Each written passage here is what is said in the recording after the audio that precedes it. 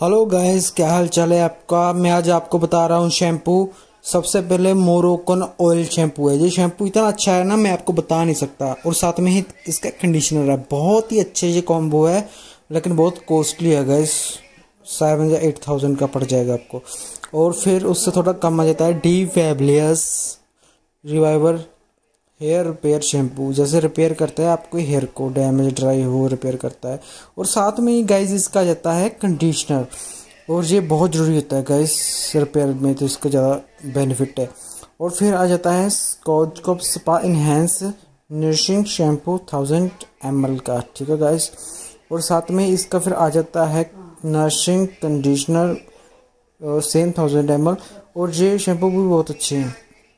और फिर जिनके हेयर कलर कराने से ख़राब हो गए फिर उन्होंने ये लगाना है और साथ में इसका फिर ये कंडीशनर आ गया है गैस और क्लीन परफॉर्मेंस है इसकी ठीक है गैस और फिर और इसके साथ में आता है पे, पेप्टाइड रिपेयर ये भी शैम्पू बहुत ही ज़्यादा अच्छा है गैस ये शैम्पू में से आप कौन सा अच्छा लगा आपको कमेंट करके बताएँ।